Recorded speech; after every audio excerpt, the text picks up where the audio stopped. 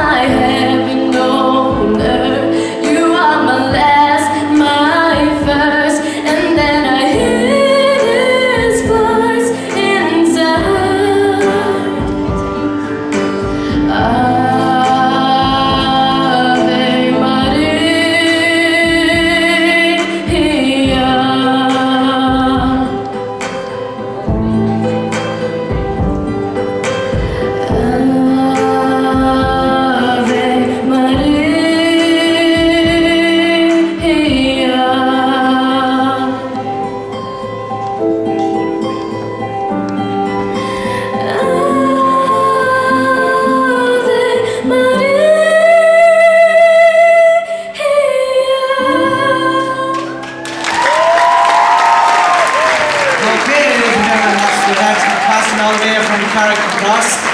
Like I said earlier, our youngest performer in the competition. Nick. Hi, Wynette. Um, I think I've said this to you before. I absolutely love your voice. Uh, such a mature voice for your age, and such power to come out of such a small girl. Uh, it's great to see. Um, the falsetto, it was just about working for you tonight. That's the really high part of your voice.